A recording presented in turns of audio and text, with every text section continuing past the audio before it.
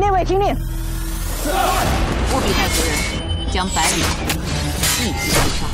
凤仪，我兄长他会不会还活着？百里弘毅一路调查，已经查到了寺庙，这个寺庙里绝对有问题。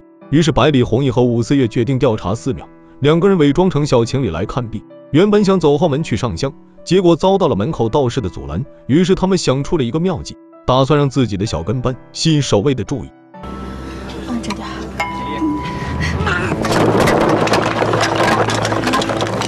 慢着点。没问题。这怎么了？人！把你们道长交出来！你你你不要血口喷人！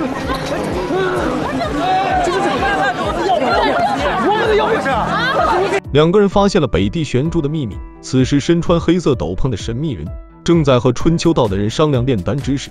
由此，我们判断这个人的身份不一般。守卫发现了寺庙里有贼人，赶紧敲钟。神秘人听到钟声，赶紧离开寺庙。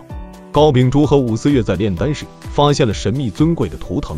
查案小分队通过分析得出，东宫的太子可能和春秋道有关系，但是他们要调查东宫，却受到了各种阻拦。武思月利用郡主的关系，顺利的见到了太子。从太子口中得知，太子只是被小人利用了，而这个人就是戴州。高秉烛在赌房中抓到了他。另一边，百里弘毅通过一宿的炼丹实验，他意外的发现，这个根本不是炼丹，而是在炼就火药。他为了调查这些事，开始查阅百里家的历史。原来当年百里家也曾炼制过这种火药。百里弘毅因此查到了自己的哥哥，哥哥可能并没有去世，由此判断哥哥可能和春秋道有关系。高秉烛和武四月通过傣州，也查到了百里弘毅的哥哥。高秉烛是要抓捕他，武四月担心高秉烛的身体，他自己带兵去抓捕。